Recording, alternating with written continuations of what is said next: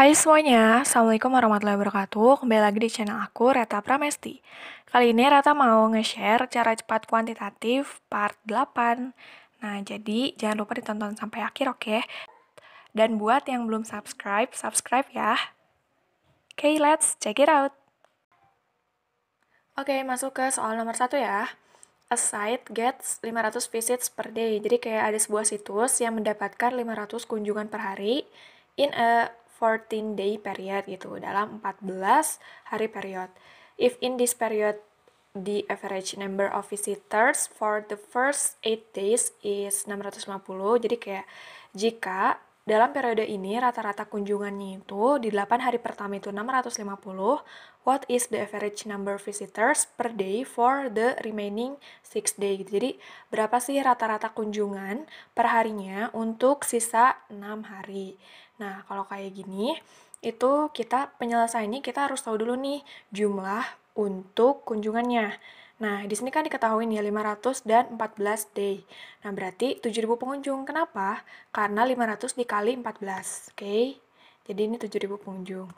Lalu kita cari banyaknya pengunjung untuk 8 hari pertama. Nih 650 650 ini dikali sama 8 hari. Karena kan 8 hari pertama dia bilangnya itu 5200. Nah, sisanya berarti tinggal si 7000-nya dikurangi sama 5200, yaitu 1800.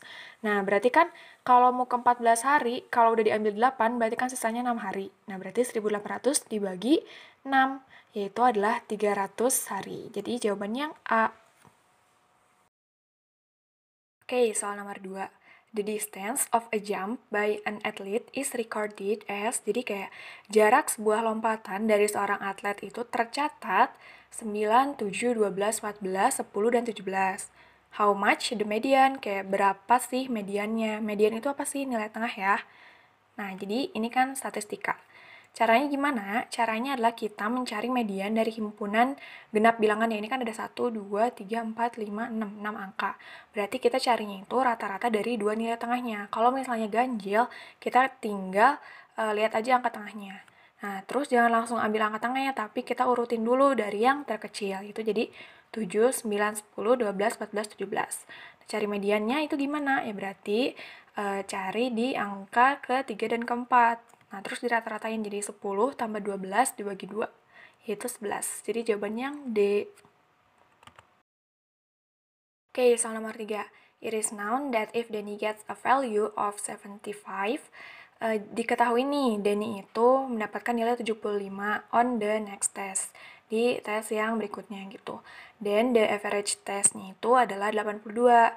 If Danny gets a score of 93, the average score the test is 85.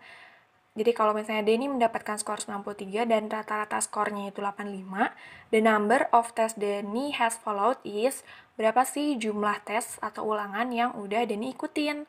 Nah, caranya gimana? Berarti kita coba misalin aja rata-rata sementaranya itu X, lalu ulangan yang telah diikuti sama Denny itu N. Nah, di sini kan nggak diketahui ya berapa ulangan yang udah diikutin ini ditanyakan. Nah, jadi kita cari dulu aja dengan data-data yang udah ada. Jadi kayak 82, ini kan nilai rata-rata akhir sama dengan nx plus 75 per n plus 1. Biar tahu nih jumlah dari si ulangannya itu berapa. Terus tinggal kali silang, 82 kali n, 82 kali 1. Ini ya. Terus nx plus 75. Nah, begitupun dengan yang kedua.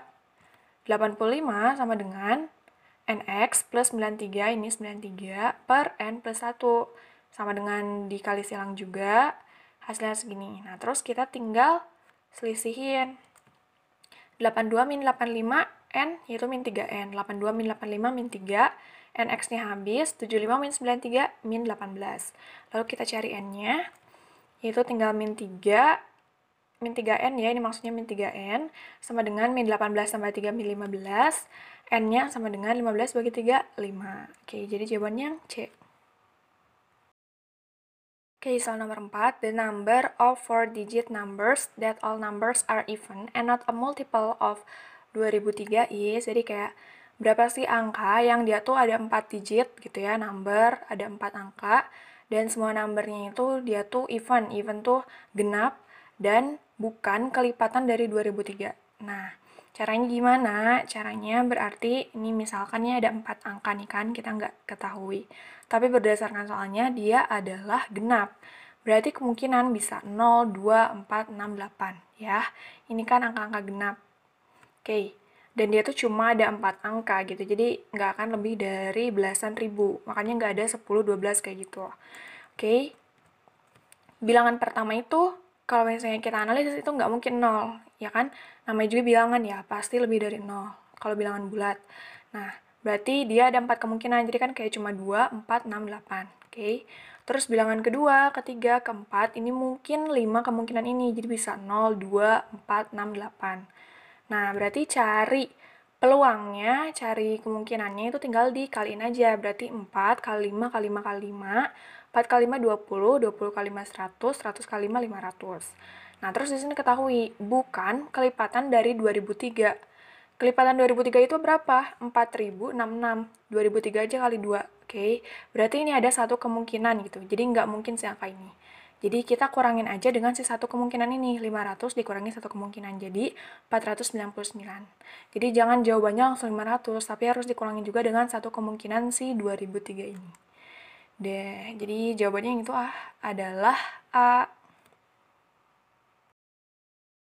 Oke, okay, soal nomor 5. Bang Andri has uh, 200 books in his closet gitu. Jadi Bang Andri tuh punya 200 buku di lemarinya.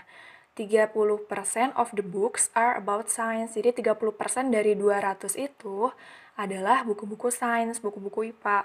20% dari si sains itu adalah math book. Jadi 20% dari yang 30% ini ya, bukan 20% dari 200. The number of mathematic books is state in total percent is, jadi berapa sih uh, angka persentase untuk buku matematika? Ditanyakannya gitu. Caranya gimana? Caranya gampangnya kita cari aja berapa gitu bukunya tuh kan. Yaitu 200 buku kan diketahui Berarti buku sains itu 30% dari 200 yaitu 60 dan buku matematika itu 20% dari si 60-nya, bukan dari 200 ya. Karena kan matematika bagian dari sains. 20% dari 60 yaitu 12. Nah, lalu tinggal 12 per 200 dari keseluruhan kali 100 persen. Jadi 100 per 200 1 per 2, 12 bagi 2, 6. Jadi 6 persen. Jadi jawabannya A. Ya, oke. Okay. Oke, soal, soal nomor 6. Lim X menuju 1, X pangkat 100 min 1 per X kuadrat min 1 sama dengan, nah ini sebenarnya gampang banget, kita tinggal pakai konsep turunan. Gimana tuh? Jadi kita turunin aja angkanya, nih. Ini kan pangkat 100 ya. Jadi si pangkatnya ini kita kalikan ke depan, dan si pangkatnya harus kita kurangkan 1. Jadi 100 dikali ke depannya jadi 100x, uh, si pangkatnya kurangi 1, 100 kurangi 1, 99. Nah, kalau yang min 1 kan ini nggak ada pangkat ya, berarti ini udah habis langsung. Terus kalau yang X ini ada pangkatnya, jadi 2 dikali depannya 2X, uh, dikurangi 1 pangkatnya, 2 min 1, jadi 2X.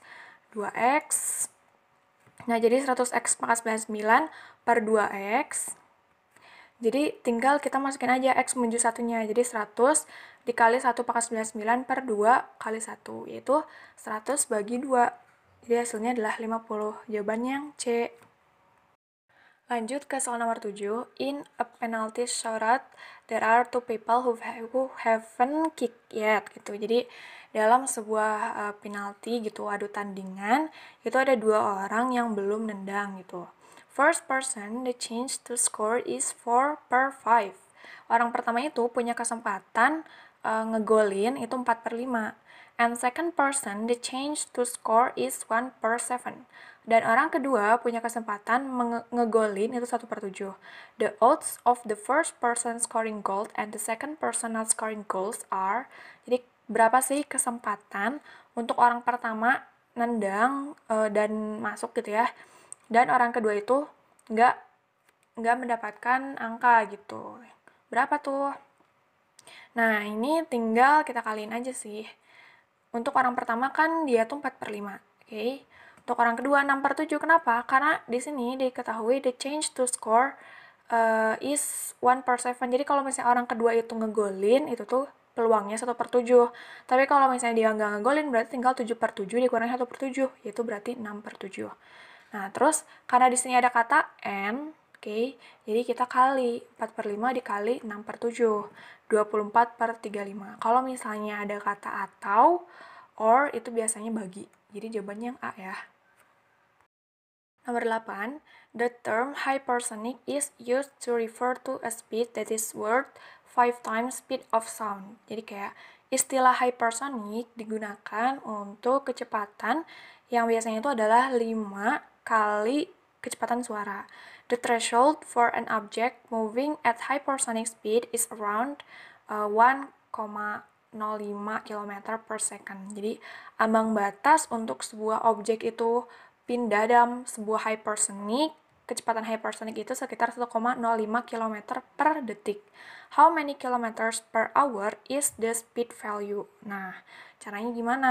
Karena ini diketahui nih 1,05 km per second, jadi kita tahu bahwa dalam uh, semenit itu kan ada 60 detik dan ini ditanyain dalam sejamnya itu uh, berapa kilometer. Nah, dalam sejam kan 60 menit. Nah, berarti kita tinggal kaliin aja 1,05 dikali 60 detik dikali 60 menit. Jadi 3780 km per jam. Oke. Okay? Jadi jawabannya yang C. Oke, okay, lanjut ke soal nomor 9. Which of the following shape is a two-dimensional figure. Nah, terus ini ada square, beams, trapezoid, cone, dan ini keterangannya A, B, C, D, E-nya itu uh, 1, 2, 3, 1, 3, 2, 4, 4 sama all choice are correct. Nah, ini kan yang ditanyakan two, two dimensional figure ya.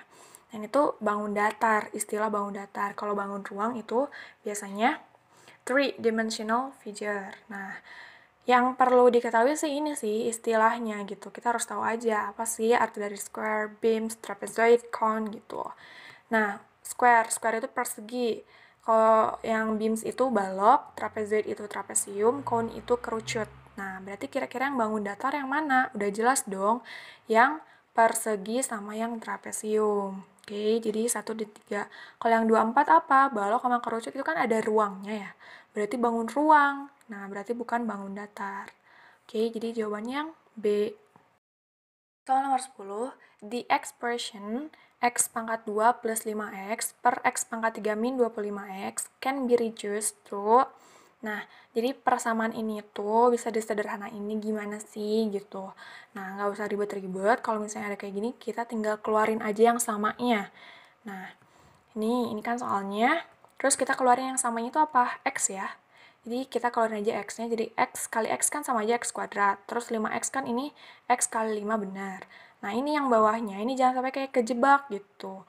Keluarin aja si x-nya, terus kita tinggal sisain ini si x kuadrat min 25. Nah terus kita tinggal sederhanain si x kuadrat min 25, ini kan kalau misalnya disederhanain kayak gini ya. x plus 5, x min 5, ini tinggal kita faktorkan. Nah terus kita tinggal coret aja, ini sama ini kan sama ya. Berarti sisanya tinggal ini dong, 1 per X min 5. Jadi jawabannya D. Nah, so itu aja tadi uh, 10 soal latihan mengenai TPS UTBK 2020 yang English untuk PK. Semoga kamu ngerti dan ini ada dua praktis berdasarkan tadi latihannya.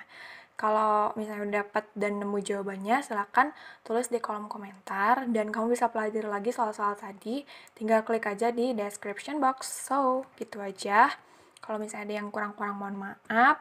And thank you. Good luck ya SBMPTN-nya. UTBK-nya tinggal 15 hari lagi. Semangat! Wabillahi taufiq Wassalamualaikum warahmatullahi wabarakatuh. Bye!